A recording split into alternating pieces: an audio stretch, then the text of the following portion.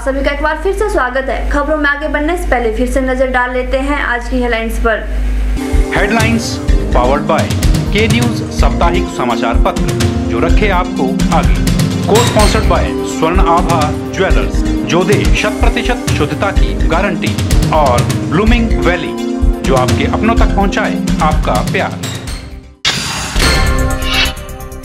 सत्तर फ़ीसदी अनुदान पर मिलेगी सौर फोटोवोल्टिक लाइटें कहा वीरभद्र सिंह ने। चाय के उद्यम धीरे धीरे कम होने पर भी जताई चिंता।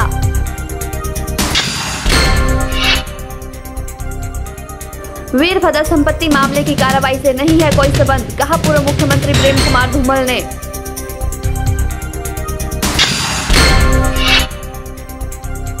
मंडी में आम आदमी पार्टी युवा मोर्चा की बैठक हुई आयोजित। जन चेतना अभियान को लेकर बनाई ट्रस्ट रणनीति।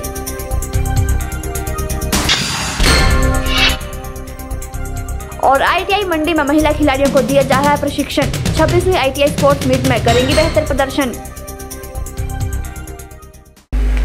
मंडी में anganwadi workers and helpers unions का ग्यारहवा राज्य सम्मेलन आयोजित किया गया। दो दिन तक चलने वाले इस राज्य सम्मेलन में all India federation of anganwadi and helpers union की राष्ट्रीय महासचिव ए आर संधु ने शिरकत की। वहीं यूनियन ने आंगनबाड़ी वर्कर्स एंड हेल्पर्स के मानदेय में वृद्धि करने के लिए भी मांग उठाई।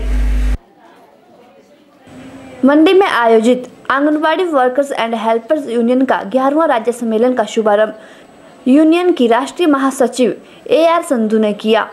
और उन्होंने कहा कि केंद्र सरकार द्वारा पिछले दो वर्षों से बाल विकास परियोजना के बजट में 50 प्रतिशत कटौती कर दी है, जिस कारण आंगनबाड़ी कार्यकर्ताओं के मानदेय में बढ़ोतरी नहीं हो रही है। उन्होंने कहा कि केंद्र सरकार पैंतालीसवें श्रम सम्मेलन की सिफारिशों के आधार पर इन्हें अभी भी मजदूर घोषित नहीं कर रही है, जिस कारण उन्हें तीन हज़ार रुपये मानदेय दिया जा रहा है।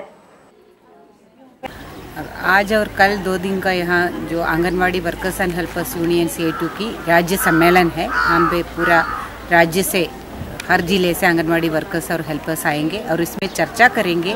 पूरे देश में जो आईसीडीएस का योजना चल रहे हैं, उसको बंद करने का जो केंद्र का बीजेपी सरकार का जो एक साजिश है और बजट का कटौती है, उसको लेके और आंगनवाड़ी वर्कर और हेल्पर को जो वर्किंग कंडीशन है, इनको कर्मचारी माने जा रहे हैं और ये जो न्यूनतम वेतन तक नहीं दिया जा रहा है, उसके बारे में भी। और हिमाचल सरकार जो पूरा भ्रष्टाचार से आजकल डूब रहे हैं उस, उसका भी रवैया आंगनबाड़ी वर्कर हेल्पर के बारे में जो है बहुत नेगेटिव है, उसके बारे में और आगे की रणनीति कैसा तैयार करेंगे, उसके बारे में चर्चा होगा।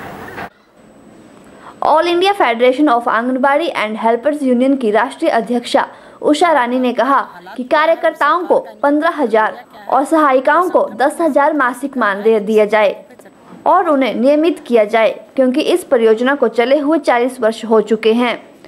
उन्होंने कहा कि यूनियन पूरे देश में और विशेष तौर पर हिमाचल प्रदेश में आंगनबाड़ी कार्यकर्ताओं के शोषण के खिलाफ इस सम्मेलन में संघर्ष की रूपरेखा तैयार करेगी। हमारा जो ये दो दिन का सम्मेलन है, इस सम्मेलन के अंदर हिमाचल राज्य के अंदर आंगनवाड़ी वर्कर, हेल्पर का काम का हालात क्या है और सरकार का इनके प्रति रवैया क्या है और संगठन को मज़बूत कैसे करना है, इन सभी बातों पर चर्चा की जाएगी। और मुख्य बात यह है कि हमारी आईसीडीएस को चलते हुए 40 साल हो गए हैं। इकतालीस में उसने कदम रख दिया है और 40 साल के काम करने के बाद भी यहाँ पर काम करने वाली वर्कर हेल्पर की जो हालत है, वो बद से बदतर हो जा रही है।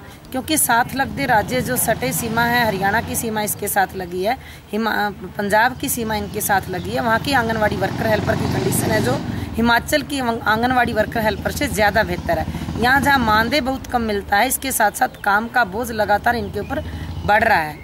और रजिस्टर का वर्क भी जो है कि पूरे तेरह चौदह रजिस्टर हैं जो इनको काम के लिए दिए गए हैं और लगातार अधिकारियों का दबाव बढ़ रहा है। और संघर्ष करने के बाद भी हिमाचल राज्य की सरकार इनकी मांगों की ओर ध्यान नहीं दे रही है। तो इस सम्मेलन के अंदर हम जहाँ पर अपनी मांगों के साथ बात करेंगे तो अगले संघर्ष का भी ऐलान करेंगे कि यहाँ की जो भ्रष्टाचार में लिपटी हुई सरकार है और केंद्र की सरकार का जो इसके ऊपर एक दबदबा सा बन के एक अपना नया रोल केंद्र की सरकार अदा करने की कोशिश कर रही है, उसको भी नंगा करेंगे और अपने अधिकारों के लिए भी लड़ाई लड़ते हुए एक संघर्ष का ऐलान भी यहाँ पे किया जाएगा। सीटों से जुड़ी हुई anganwadi workers and helper union के मुताबिक वीरभद्र सिंह के नेतृत्व वाली राज्य सरकार ने विधायकों और मंत्रियों के वेतन, भत्तों और पेंशन में 100 प्रतिशत वृद्धि कर दी और आंगनवाड़ी कार्यकर्ताओं के मानदेय में एक रुपए की भी वृद्धि नहीं की है। कैमरा पर्सन युगल के साथ ब्यूरो रिपोर्ट। इन दिनों छोटी काशी मंडी में माता के जयकारों की गूंज सुनाई पड़ रही है। बसंत नवरात्रों के चलते देवभूमि भक्तिमय हुई पड़ी है और मंदिरों में श्रद्धालुओं का तांता लगा हुआ है। मंदिरों को भी भव्य रूप से सजाया गया है, जिनका नज़ारा देखते ही बन रहा है।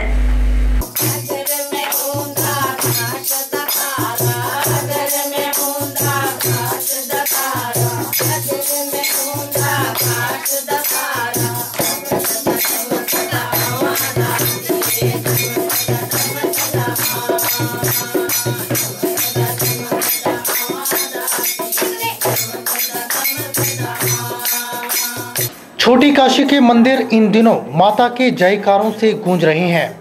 बसंत नवरात्रों के चलते माँ के दरबार में हाजिरी भरने वालों का तांता लगा हुआ है और लोग अपनी मुरादों के साथ मंदिर में पहुंचकर शीश नवा रहे हैं। तो इस उपलक्ष्य में हम सभी श्रद्धालु यहाँ पे आते हैं, भजन कीर्तन करते हैं और माँ की आरती, माँ का गुणगान बड़े प्यार से करते हैं। और मुझे बहुत खुशी होती है जब यहाँ पे आते हैं, अपनी सारी मनोकामनाएँ, सभी लोगों की मनोकामनाएँ पूर्ण होती हैं। सभी लोग अपनी श्रद्धा से आते हैं, श्रद्धा से अपना भजन कीर्तन करते हैं और अपनी सभी मनोकामनाएँ पूर्ण करते हैं। इसलिए सभी लोग भारी से भारी यहाँ पे बहुत भारी संख्या में आते हैं और माता से अपनी मुरादें पूरी करके अपने आशीर्वाद लेके जाते हैं। भक्त यहाँ से आस लेके ही जाते हैं और माता जो है तो सबकी मनोकामना पूरी करती है। ये माता जो है तो बहुत प्रसिद्ध है। इसका मूल धाम जो है तो कांगड़ा में है, ब्रजेश्वरी माता। और यहाँ जो है तो बहुत बहुत श्रद्धालु दूर दूर से आते हैं। जैसे कि हमीरपुर कांगड़ा बाकी तो रहना तो धर्मशाला के लोग भी यहाँ आते हैं मनोकामना लेने के लिए। और पुजारी जी को यहाँ सात सात बज जाते हैं रात तक। इतनी भीड़ इस मंदिर में होती है। नवरात्रों को लेकर मंदिरों में विशेष आयोजन किए जा रहे हैं। मंदिरों में शतचंडी पाठ और भागवत कथा का आयोजन किया जा रहा है, जिसका समापन नवमी वाले दिन किया जाएगा। और उस दिन श्रद्धालुओं के लिए भंडारे का आयोजन भी किया जाएगा। पौराणिक मान्यताओं के अनुसार ये जो ग्रीष्मकालीन नवरात्रे हैं, इसमें ब्रह्मा जी ने सृष्टि की रचना की थी, जिससे कि चैत्र पक्ष को शुरुआती तौर पर जो महीना कहा गया है और इसमें हर एक राजकीय संवैधानिक कार्य की शुरुआत आप देख सकते हैं, वो आज तक पौराणिक मान्यताओं के अनुसार आज भी की जाती है। अप्रैल का महीना, इसमें कोई भी राजकीय कार्य, जैसे कि बजट सेशन है, या कोई भी बच्चों का स्कूल में नया आगमन होना तो ये जो कार्य है, ये कार्य सारे मतलब इसी क्षेत्र में और इसी ज्ञान को ध्यान में रखकर आज तक किए जाते हैं। ये नवरात्रे माता के नौ दिन तक सभी भक्तजनों द्वारा बड़ी धूमधाम से बनाए जाते हैं। नौ दिन तक इसमें मुख्यतः जो आकर्षण रहता है, वो भक्तजनों का माई के प्रति गुणगान होना और नौ दिन तक जो माता के चरणों में कलश स्थापना की जाती है और जो अखंड ज्योति प्रज्वलित की जाती है और इसमें मुख्यतः जो दुर्गा सप्तशती के पाठ की भूमिका रहती है, जिसमें कि माता के द्वारा चंडमुंड का वध होना, महिषासुर का वध होना, जो एक नारी शक्ति ने पूरे समाज में एकता बनाई थी, जो एक नारी शक्ति ने दुष्टों, दैंत्यों का संहार करके धर्म की जीत कराई थी, आज भी वह नारी शक्ति औरतों को प्रोत्साहित कर रही है और और औरतों के लिए वो नारी शक्ति आज भी उसमें एक उमंग भर रही है एकता की और पूरे राष्ट्र और पूरे समाज को एकजुट जोड़ने की। और इसी तरह नवरात्रि के पर्व अंत में दुर्गाष्टमी के दिन कन्याओं का पूजन किया जाता है और नारी का विशेषतः जो नवरात्रे होते हैं वो नारी के सम्मान में ही किए जाते हैं। नवरात्रों के चलते मंदिरों को भव्य और आकर्षक रूप में सजाया गया है, जिनका नज़ारा देखते ही बन रहा है। रात को जगमगाती रोशनी के बीच मंदिरों का सौंदर्य और निखर रहा है। रिपोर्ट, के चैनल। लेंगे यहाँ एक और छोटा सा ब्रेक, लेकिन ब्रेक के बाद भी खबरें लगातार जारी रहेंगी।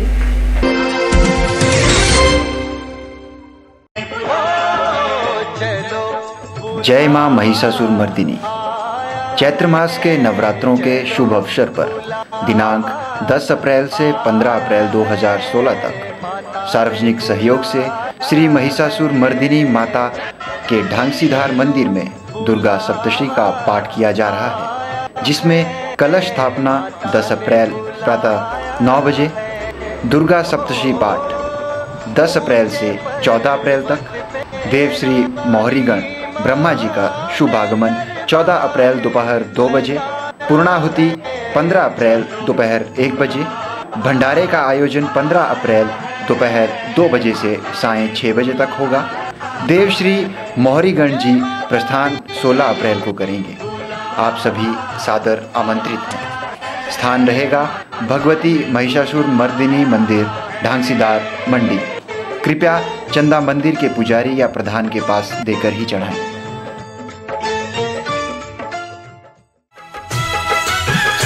जय माँ कोयला देवी।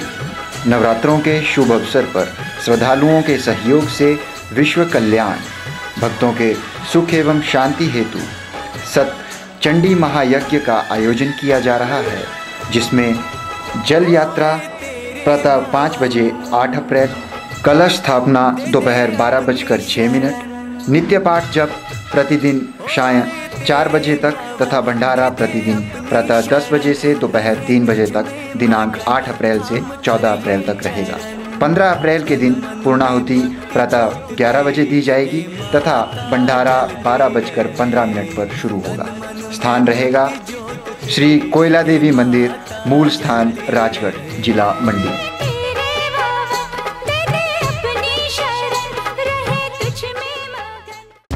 गुप्ता शॉल एम्पोरियम, जहाँ आप पाएँगे बेहतरीन व उच्च क्वालिटी की शॉल की विस्तृत वैरायटी। यहाँ pure woollen Kullu shawl, Kashmiri shawl, angora shawl, cashmilon shawl, feather shawl, pashmina shawl के साथ ही शॉल की और भी बहुत सी वैरायटी उपलब्ध है। तो देर न कीजिए और आज ही पहुँचे गुप्ता शॉल एम्पोरियम, सब्ज़ी मंडी के साथ Ner Chowk, district Mandi. Mobile nine four five nine one two five four zero zero.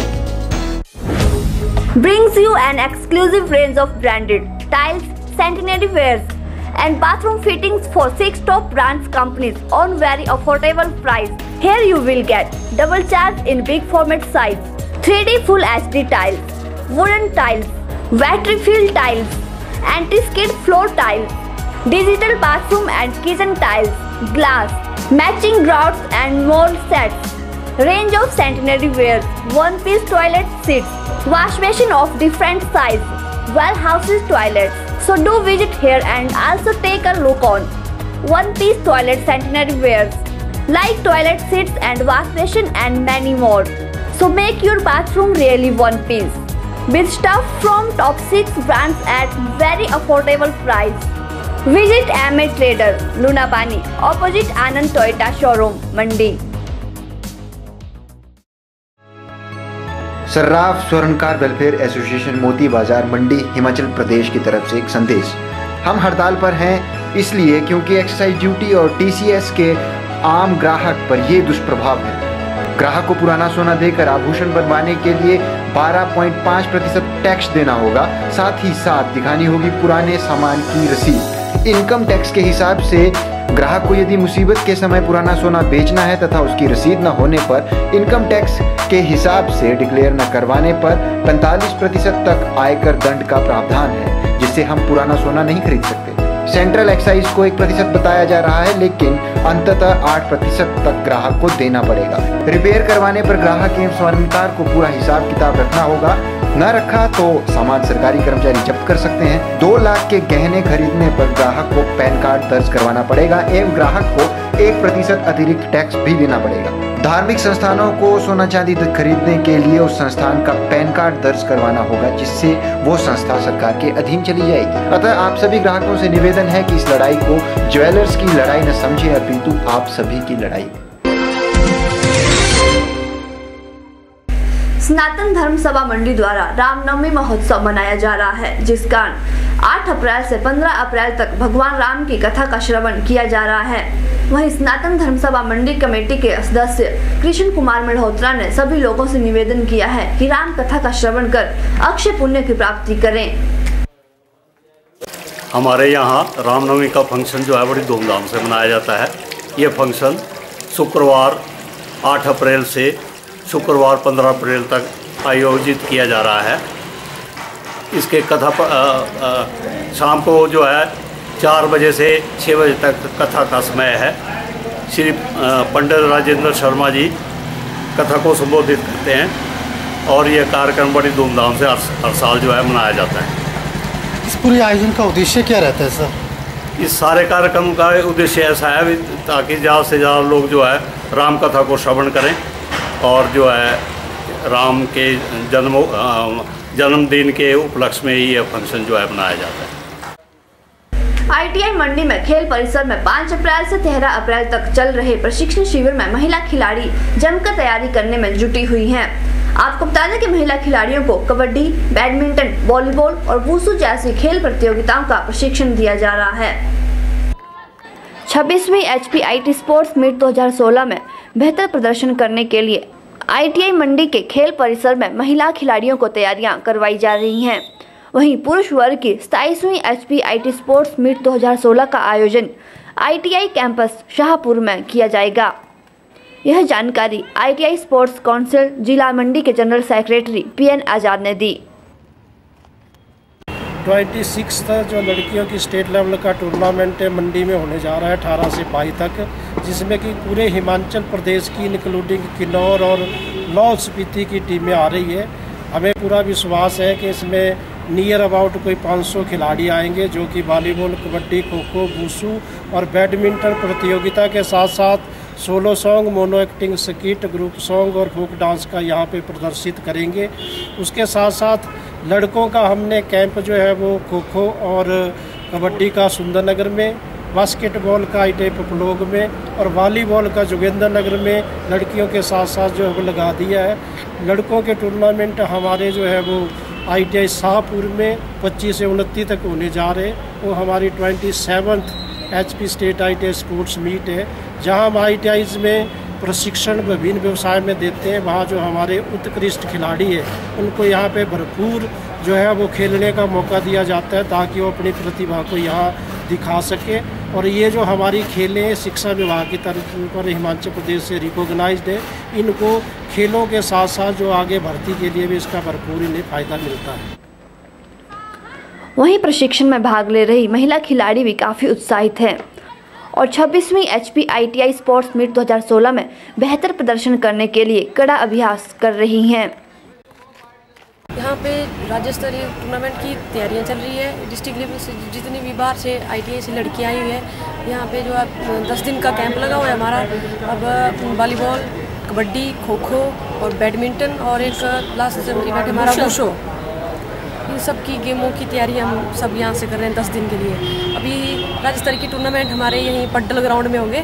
जो जितने भी गेम्स के प्रैक्टिस हो रही है सुबह छः से शाम छः बजे तक और दिन में ब्रेक भी होता है।